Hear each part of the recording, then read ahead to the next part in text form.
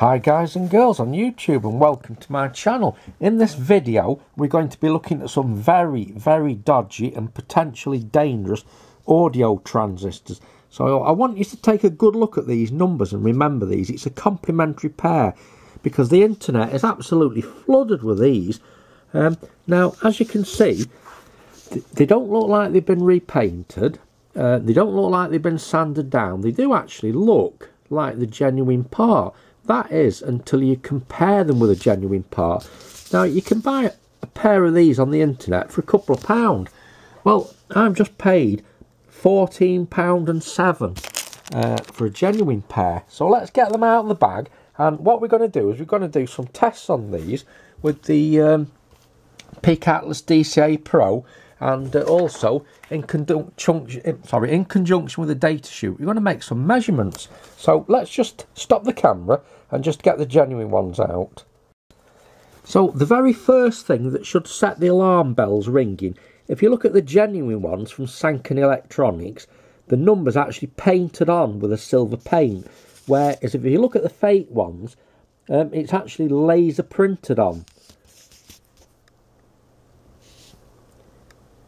It's difficult to see, uh, we haven't got a very good light here, but uh, let's put these on a test now and just have a quick look what we've got. Right, so if we take a look at the data sheet here, let's take this one for start, the 2SD, the NPN one. Um, it says it's a Darlington transistor with two internal resistors and an internal diode.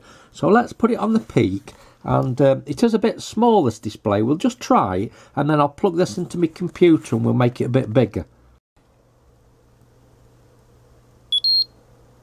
Right, so as you can see there, it's come up with the um, the correct picture there.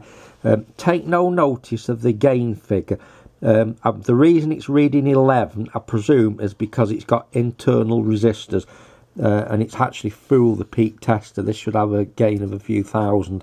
But uh, let's plug the peak into my computer first so we get a bigger picture. Right, so this is the Peak Atlas DCA Pro uh, with curve tracing on. Uh, just plug it into the computer. I'll just uh, stop the camera while I load it up. Right, so we connect to the computer, we loaded up. Uh, now, I'll just give you a quick demonstration. We've got curve tracing on this, um, but we actually we don't need to concern ourselves with that because uh, I'll show you why.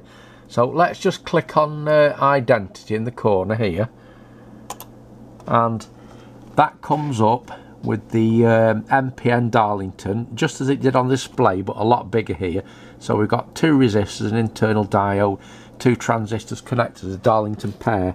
Now that is the that's the genuine Sanken one. Now let's put in um, the fake one that I've just bought. Right, so there we go. So that's the fake one now connected up. Now what do you think is going to happen here when we press this button? Well, let's get the uh, mouse point over there. Press the button that says test.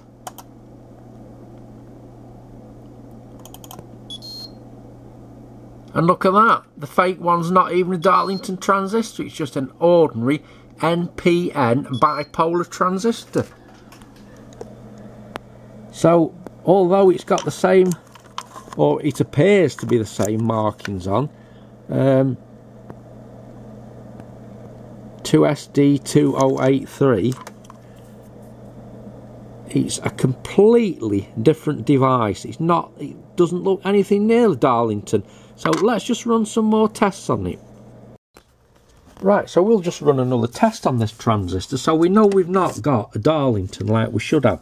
Um, now if we look at the data sheet here, it says the maximum collector emitter voltage here is quoted at 120 volts.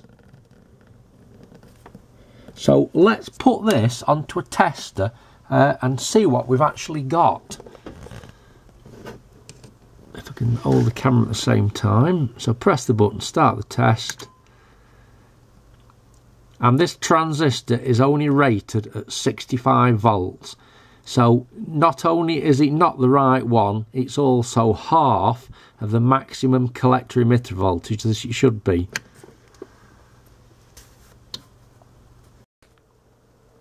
Right, so let's try the 2SB one. Uh, we'll do it on this test because I can hold the camera at the same time. Um, So you can see we've got the genuine one in there first.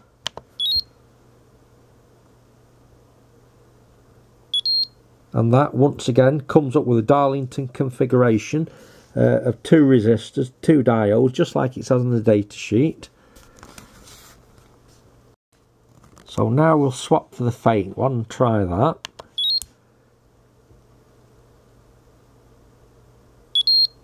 And once again, it just comes up with an ordinary um, PNP transistor. Um, so these are totally, totally fake. Uh, they're not Darlingtons at all. Um, and also, it would be very dangerous to fit that in anything. Uh, what I actually want them for is this um, Denon amplifier.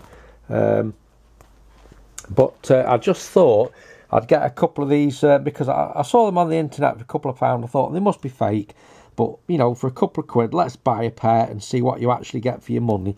So uh, it's a part that's totally unsuitable. Um, it doesn't, it, it, it, looks the part. It's not, definitely not, although it doesn't look in the camera, it's definitely not been sanded down. Um, the surface texture looks absolutely perfect.